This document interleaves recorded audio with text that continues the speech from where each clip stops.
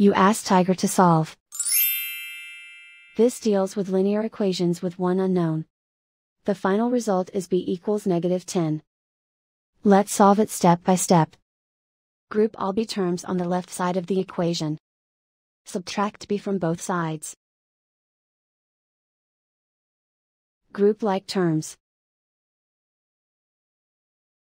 Simplify the arithmetic. Group like terms.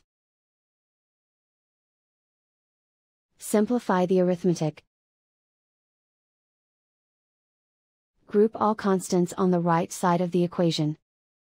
Subtract 23 from both sides. Simplify the arithmetic.